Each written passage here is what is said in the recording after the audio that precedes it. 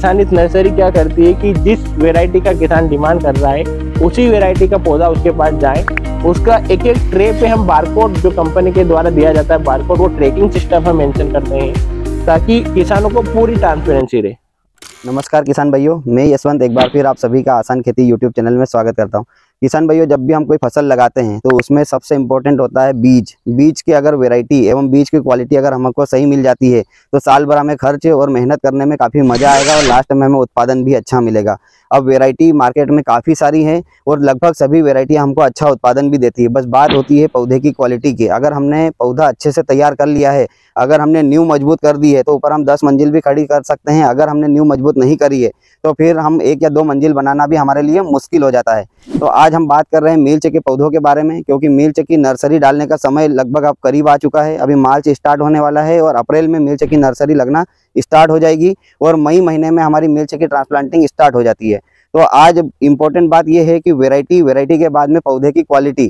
तो आज हम जानने के लिए कि पौधे में क्वालिटी कैसे बढ़ाएँ और पौधे को हम अच्छी तरीके से ग्रोथ कैसे करें ताकि फ़ील्ड में जाने के बाद में वो वेजिटेटिव ग्रोथ के साथ में रिप्रोडक्टिव ग्रोथ लेते हुए, बीमारियों से बचते हुए हमें काफ़ी अच्छा उत्पादन दे सके। तो आज जानने के लिए हम आए हैं खरगोन ज़िले की एक नर्सरी है, किसान हित नर्सरी, जिसका नाम ही है किसान हित, किसानों के हित में ये काम करते हैं। तो किस प्रकार से किसानों के हित में काम करते हैं, पौधे में क्या क्या क्वालिटी देते हैं और फ़ील्ड में जाने के बाद में इनके यहाँ का पौधा कैसे रिस्पॉन्स करता है और कितना उत्पादन किसान भाइयों को देता है, जानने के लिए आप वीडियो के अंत तक बने रहें। एवं जिन किसान भाइयों ने अभी तक भी हमारा चैनल सब्सक्राइब नहीं किया है, चैनल को सब्सक्राइब करें।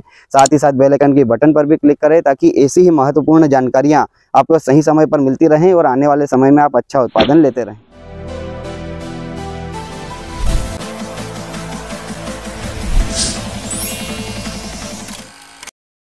तो देखिए किसान भाइयों, अभी हम किसान नर्सरी के ओनर दीपक जी और राहुल जी के साथ में बैठे हैं। तो आज हम इनसे पूरी विस्तृत जानकारी लेने वाले हैं, जो कि हमने अभी आपसे शेयर किया था। तो सबसे पहले सर, आप किसान भाइयों का आपका परिचय दे दीजिए। नमस्कार किसान साथियों, मैं राहुल पाटीदार, किसान इस नर्सरी से। मैं रहने वाला हूँ उज्जैन ज़िले से हूँ, वर्तमान में खरगोन में रह रहे हैं। पिछले तीन साल से हमने यहाँ पर किसान इस नर्सरी की नींव रखी है। तीन साल का अनुभव हमारा, वीएनआर के जो डायरेक्टर है, श्री विमल जी चावड़ा जी, उनके सानिध्य में हम वीनार नर्सरी का सुपरविजन पूरा मैनेजमेंट वहाँ पर देखते थे। तो हम लोग का एक जो आज अच्छी पहल जो किसानी नर्सरी का जो न्यू है वो विनार नर्सरी है जो हम रायपुर से सीखे थे और वही चीज़ हम किसानों को यहाँ पर डिलीवर कर रहे हैं। दीपक जी आपका भी परिचय किसान भाइयों को दीजिए कि आप दोनों भाई की जोड़ी कैसे बनी और आज आपने इतना बड़ा ये किया सेटअप किया है। तो ये कैसे इसकी शुरुआत हुई थी? राम राम किसान साथियों मेरा नाम दीपक नागर है। और मैं देवास का रहने वाला हूँ। जैसा कि सर ने बताया कि राहुल और हम दोनों का कैसे जोड़ी बनी तो हम कॉलेज से ही साथ में थे, हमने साथ में पढ़ाई करी और लकीली हमारा वेनार नर्सरी है जो रायपुर है, जो राहुल जी ने बताया कि हमको विमल सर का सानिध्य रहा और विमल सर से वो सारी चीज़ें हमने सीखी, किसानों के हित में कैसे कार्य करना है। तो वहाँ पर हमने सब अनुभव लिया साथ में और निमाड़ की इस धरती पर हम दोनों रहने वाले बेसिकली मालवा से हैं। बट uh, सब uh, जो आते वो हमसे यही uh, प्रश्न करते हैं कि आपका यहाँ कैसे आना हुआ? वो सब छोड़ के। तो यहाँ पर हमने देखा कि निमाड़ में जो कि वेजिटेबल का बहुत अच्छा गढ़ है और सब्ज़ी की खेती बहुत अच्छे तरीके से करते हैं। विमल सर ने हमको आशीर्वाद दिए और एक है हम आज आज ये तीन वर्षों में उनके आशीर्वाद से उनके सपोर्ट से आज इस मुकाम पे है कि हम काफ़ी अच्छी जगह पर मध्य प्रदेश में करीब तीन हज़ार प्लस किसानों के पास हम हमारी सर्विस को पहुँचा रहे हैं। बहुत बढ़िया वी एन आर एक सीट कंपनी है। और इसके बारे में मैं भी आपसे कुछ बताना चाहूँगा। दीपक जी जो मेरे पर्सनल अनुभव है मैंने करीब सात साल तक खेती करी है जिसमें गिलकी लौकी भिंडी करेला तरबूज खरबूज लगभग सभी सारी प्रकार की खेती करी और काफ़ी अच्छे तरीके से प्रोडक्शन भी लिया है। तो अब उसमें ये चीज़ें क्यों बता रहा हूँ मैं आपको? उसमें जो सीट का चयन करता था मैक्सिमम मेरा वीएनआर सीट होता था। जिसमें अगर मैं बताऊँ आपको गिलकी की वेरायटी में आलोक लेता था हाँ, लौकी की वेरायटी हरुणा लेता था करेले की वेरायटी सागर लेता था मतलब ये जितनी भी वेराइटीज है ये वीएनआर की है और इन वेराइटी ने कभी मुझे धोखा नहीं दिया। सही। तो राहुल जी अभी किसान भाइयों को सबसे पहले तो ये बताइए कि सबसे बड़ा कंफ्यूजन यहाँ होता है कि वेराइटी हम वेराइटी कौन सी चयन करें? अगर मुझे चिल्ली लगानी है तो आज निमाड़ में लास्ट ईयर मैंने एक वीडियो बनाया था पंद्रह वेरायटी थी। अब मेरे हिसाब से वेरायटी लगभग सभी अच्छी है क्योंकि लास्ट में हम देखते हैं कि सौ दो सौ प्लॉट में से दस बारह प्लॉट तो बहुत अच्छे निकलते हैं और मार्च अप्रैल तक हमको उत्पादन देते हैं। तो क्या वेरायटी इंपॉर्टेंट है? या हम किसी भी वेरायटी के साथ अच्छा उत्पादन ले सकते हैं। बिल्कुल एक सटीक प्रश्न है आपका कि वैरायटी हम्म। सभी कंपनियों का अलग अलग क्षेत्र में अपना आर एन डी फार्म होता है और वो जो वैरायटी सिलेक्ट करते हैं और वो जो वैरायटी आप बनाते हैं कंपनियाँ बनाती है वो हर एक पर्टिकुलर एरिया के लिए स्पेसिफाइड होती है कि उस एरिया के जो वायरस का प्रेशर है उसके हिसाब से वो कितना लड़ने में सक्षम है। और उसी हिसाब से उसी मार्केट में उसी एरिया में वो वैरायटी किसानों को सफल रूप से पहुंचाती है। यह एक कंपनी की आरएनडी का उद्देश्य होता है। हम जैसे जिस निमाड़ क्षेत्र में बैठे हुए यहाँ पर अगर वायरस का अगर प्रेशर की बात करा जाए तो सबसे ज़्यादा प्रेशर है। तो यहाँ पर जो वेराइटी मतलब वो सबसे हाई पावर जो रहेगी वही यहाँ पर बीट करेगी। तो अभी किसानों का क्या है कि हमने इस वेराइटी के हिसाब से यहाँ पर पिछले जो सीज़न है या पिछले सालों का अनुभव के हिसाब से हम जो भी वेरायटी सिलेक्शन करना चाहते हैं अपने लिए उसी वेरायटी का हंड्रेड परसेंट ओरिजिनल बीज से द्वारा निर्मित पौधा किसानों को मिलना चाहिए। उसका बहुत रोल रहता है। आने वाली फ़सल के लिए। किसान इस नर्सरी क्या करती है कि जिस वेराइटी का किसान डिमांड कर रहा है उसी वेराइटी का पौधा उसके पास जाए। उसका एक एक ट्रे पे हम बारकोड जो कंपनी के द्वारा दिया जाता है बारकोड वो ट्रैकिंग सिस्टम हम मेंशन करते हैं ताकि किसानों को पूरी ट्रांसपेरेंसी रहे। क्योंकि किसान क्या है पौधे की हरियाली देख के वेराइटी नहीं पहचान लेगा अच्छा राहुल जी इसमें मैं बीच में रोकना चाहूँगा आपको कि मान लो कोई किसान ने जाके वैरायटी मांगी वो तो मिल गई बराबर। लेकिन कोई किसान को पता ही नहीं कि मैं कौन सी वैरायटी लगा। हाँ। उसके लिए क्या समाधान है? नहीं उसके लिए समाधान ये है कि हम भी ऐसे कोई एक भगवान का अवतार लेकर नहीं बैठे हैं कि हम जो वेराइटी बोलेंगे वो सफल रूप से चलेगी। नहीं लेकिन हम हम लोग का क्या रहता है कि हम जिस एरिया में काम कर रहे हैं जी। उस एरिया के जो अच्छे किसान है प्रगतिश किसान है या जो हमारे भी कुछ हम लेवल पे फ़ार्मिंग प्लान करते हैं यहाँ पर कि चीज़ें हम कैसे अच्छी चीज़ किसानों को पहुँचाए। उसका जो पिछले दो साल एक साल का जो डाटा रहता है और किसानों का जो फीडबैक रहता है बीमारी को लेकर अच्छे प्राइस को लेकर उत्पादन को लेकर क्वालिटी को लेकर लेंथ को लेकर जो पूरा निचोड़ रहता है जिसको बोलते हैं सारांश रहता है उस एरिया का वही हम किसानों को बता दें कि आप इस वेरायटी की ओर जा सकते हो और ये। वेराइटी लगाना आपके लिए लाभदायक रहेगा। लास्ट मेरा एक पुराना वीडियो है उसमें हमने यही बताया था किसान भाइयों को कि आपको आपके आसपास के करीब 10 गाँव के जो अच्छे अच्छे फार्मर है आपको उनसे फीडबैक लेना है कि कौन सी वैरायटी लगाना है और जहाँ से सबसे ज़्यादा नाम निकल कर आए आपको उस वैरायटी को आँख बंद करके लगा देना है क्योंकि सबसे बेस्ट फ़िल्टर यही होगा इससे बढ़िया कुछ हो नहीं सकता है। अब राहुल जी सबसे इम्पोर्टेंट सवाल ये है क्योंकि अभी मैं भी एक किसान हूँ मान लो अगर एक मैं किसान के नज़रिए से बात करूँ तो मैंने जो खेत में पौधा तैयार किया है और आपने जो नर्सरी में पौधा तैयार किया है मेरी एक किसान के नज़रिए से दोनों चीज़ें बराबर है। लेकिन इनमें क्या डिफरेंस है ये आपको बताना है। इसमें अगर हम देखते हैं कि एक छोटा सा डिफरेंस है एक स्मार्टनेस का। आप जितने पौधे अपने फार्म पे अपने खेत में लगाना चाह रहे हो वो सभी पौधे एक समान जैसे कि आप देख रहे हो पूरे एक समान है। एक समान रूप से होना चाहिए। कोई भी पौधा आपका छोटा नहीं होना चाहिए बड़ा नहीं होना चाहिए एक समान होना चाहिए। तीसरी सबसे महत्वपूर्ण बात है कि जब किसान पौधा अपने खेत पे लगाता है पौधा ट्रांसप्लांटिंग के बाद जो आने वाले चैलेंज रहते हैं जैसे कि डंपिंग होना गेप फिलिंग मरगड़ होना। ये पौधे का एक समान चाल से न चलना फुटाव न आना तो ये समस्या न रहे एक समान अच्छे रूप से चले ये स्मार्ट खेती की निशानी है। अगर हम बात करते हैं कि जब पौधा लग जाता है उसके दस दिन बाद या बीस दिन बाद या तीस दिन बाद किसान अपनी फ़सल को देखता है तो उसको एक पौधे से दूसरे पौधे में अंतर नहीं दिखना चाहिए। मतलब एक एकड़ में अगर आठ हज़ार पौधे लगे हुए हैं तो आठ हज़ार पौधे एक समान चलना चाहिए क्योंकि उसने आठ हज़ार के एक एक पौधे के एक समान भाव दिए। सही है। है ना? सीड का भी समान भाव दिया है पौधे का भी समान भाव दिया है। आने वाला जो समय है जब उसकी उत्पादन आएगी अभी तक जो पिछला अनुभव रहा है किसानों का उसमें क्या था कि जो डी फोर सेगमेंट है बारह नंबर जो सेगमेंट है हम्म, हरी और लाल के लिए दोनों उपयोग करते हैं। वो नॉर्मल अच्छा पौधा अगर किसान लगाता है अच्छी तकनीक से करता है तो पचपन से साठ दिन में पहली तोड़ाई कर लेता है किसान सफल रूप से।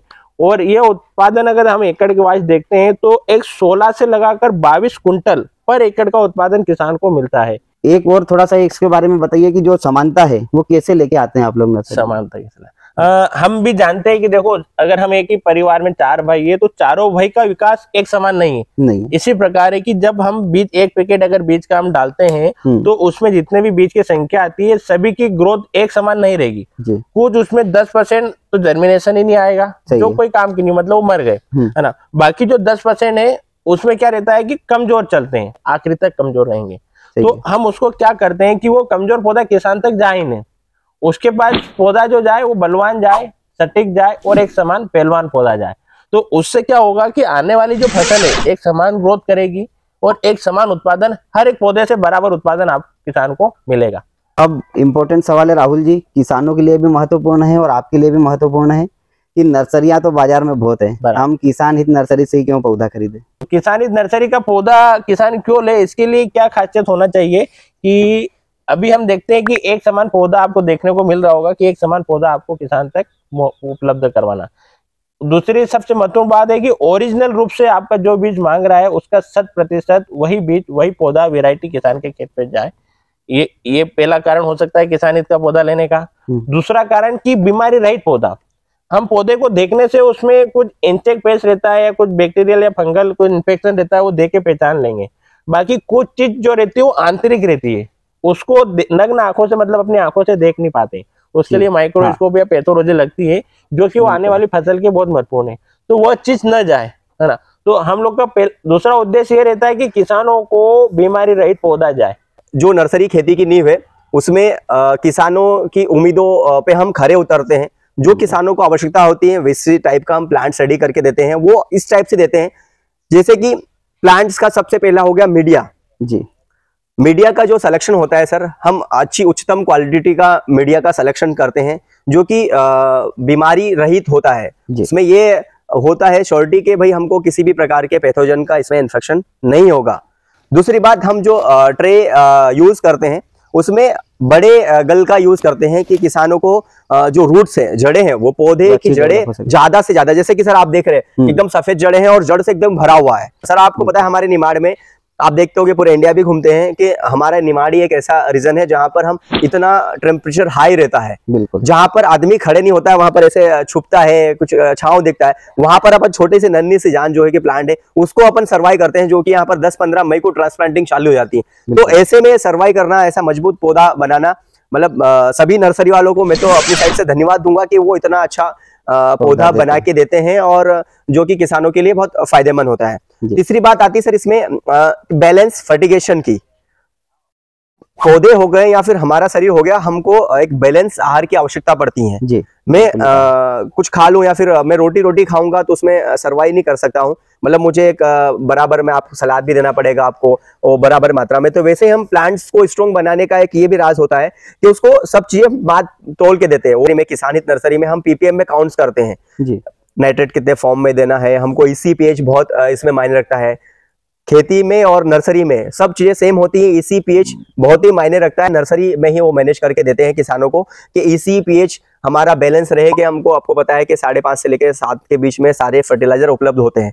तो वो हम पीएच यहाँ पर बैलेंस करते हैं नर्सरी में और जो फर्टिगेशन की बात करें हम, वो पीपीएम में काउंट्स करके प्लांट्स को देते हैं। तो उन सब चीज़ों की वजह से हमारे प्लांट्स जो कि बलवान रहते हैं किसान पौधा क्यों लगा रहा है? किसान पौधा इसीलिए लगा रहा है कि मेरी जो पौधे लगाने के बाद की जो समस्या है वो कम हो। कम और मेरी जो उत्पादन लेने की क्षमता वो बढ़े और मेरा खर्चा कम हो। यही उद्देश्य वो किसान का होना चाहिए और यही उद्देश्य पे पौधा आपका खड़ा रहना चाहिए।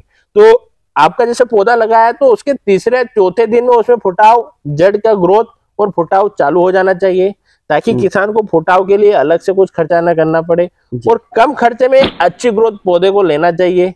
इन सब खासियत जो होती है ये किसानित नर्सरी के पौधे में आपको देखने को मिलेगी। आप नाम देखोगे किसानित नर्सरी। तो इसमें पहला शब्द किसान ही। थे मतलब पहला जो हम लोग का उद्देश्य रहता है किसानों का हित कैसे होना। सही है। तो किसानों के अपने हित के लिए किसानित नर्सरी का पौधा लेना चाहिए। तो देखिए किसान भाई आप देख सकते हैं जैसे तरबूज का पौधा सर ने बताया कि चार इंच के लगभग की हाइट ली हुई है इसने। क्योंकि तरबूज की खेती मैंने भी करीब पाँच छह साल की हुई है। तो उसमें जो पौधे की ये ग्रोथ है ये मैक्सिमम टाइम को देखने को नहीं मिली। अच्छा। अच्छा आप दीपक जी की ओर चलते हैं। दीपक जी जैसे अभी राहुल जी ने बताया कि हमारी खासियत ये है कि पौधा स्मार्ट होना चाहिए पौधा स्वस्थ होना चाहिए पौधे में ग्रोथ अच्छी होनी चाहिए तभी वो फ़ील्ड में जाके सर्वाइव करेगा रोग प्रतिरोधक क्षमता उसकी अच्छी रहेगी और उत्पादन देगा।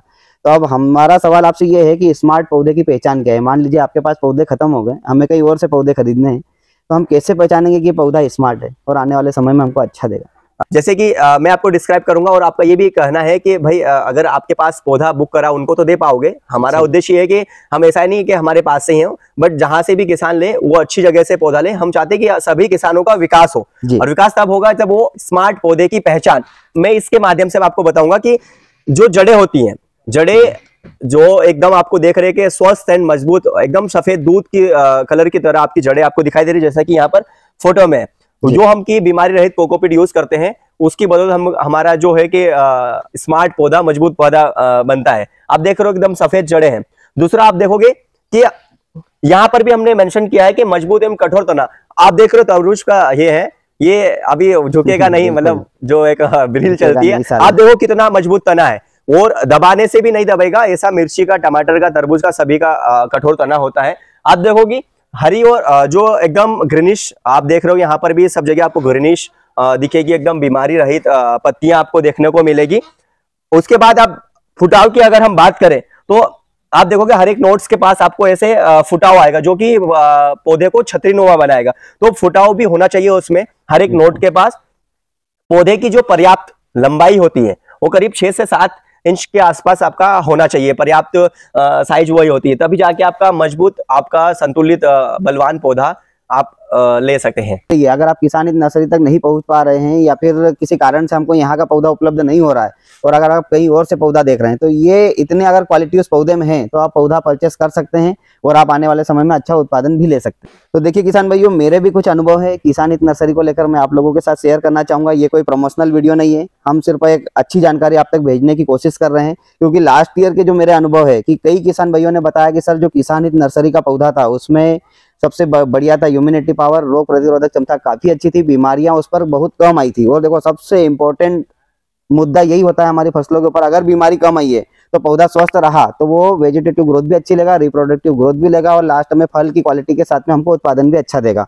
राहुल जी, ये तो था कि हमने खे नर्सरी में पौधा तैयार कर दिया स्मार्ट पौधा और किसानों को दे दिया है। अब बात आती है आफ्टर सेल सर्विस हम यहाँ से नर्सरी से पौधा बेचने के बाद में किसानों को गाइड करते हैं कि पौधा जाने के बाद हम किसानों को अच्छा दिशा निर्देश भी देते हैं। जैसे कि हमारा उद्देश्य जो है हम्म। कि किसानों की लागत कम करके उनकी आमदनी बढ़ाना। जैसा कि एक छोटा सा एग्जांपल कल ही एक किसान आए थे एक शाहपुर के हम हमारे माध्यम से एक फर्टिगेशन शेड्यूल भी जाता है सर। हमारी टीम या हम भी गाइडेंस उनको देते हैं कि फर्टिलाइज़र कितना चलाना है कब चलाना है है ना? और अगर इंसेक्ट पेस्ट की जो स्प्रे की बात करें तो सर वो तो कंडीशन देख के हम रिकमेंड करते हैं। बट उस किसान का कहना था कि सर मैंने ये डोज चलाया और उसके यहाँ पर चिली उसने कोई दूसरी ग्रेड्स नहीं चलेगी। हमारा सर जेनरिक है एक टाइप का जो एक संतुलित आहार आवश्यकता होती है पौधों को। हमने उसी की एक रेसिपी बनाई है, जो कि हम किसानों को दी और जो किसान हमारे वो कर रहे हैं, बाकायदा उनको उन सब चीज़ों का बेनिफिट भी मिल रहा है। और आगे हम इसी उद्देश्य काम भी कर रहे हैं कि हम किसानों को आफ्टर सेल सर्विस ये तकनीकी ज्ञान भी दे, कैसे गोबर की खाद की महत्वपूर्णता के बारे में बताएँ ईसीपीएच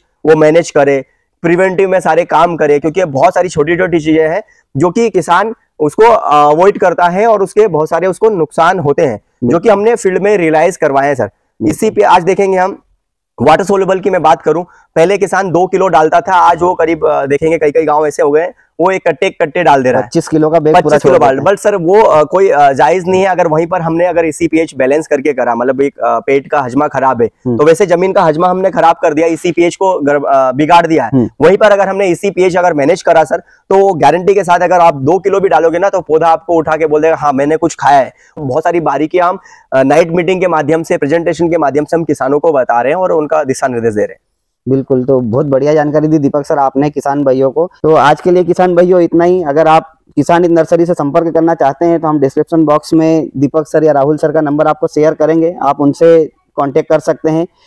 तो बहुत बहुत धन्यवाद किसान भाइयों। बहुत बहुत धन्यवाद राहुल जी दीपक जी आपका कि आप किसानों के हित में इतना अच्छा काम कर रहे हैं। धन्यवाद सर आपका भी बहुत बहुत धन्यवाद आपके चैनल के माध्यम से आपके माध्यम से जो हमारी बातें हैं वो किसानों के पास आपने रखी जो कि किसान उसका फ़ायदा लेंगे। धन्यवाद धन्यवाद। ठीक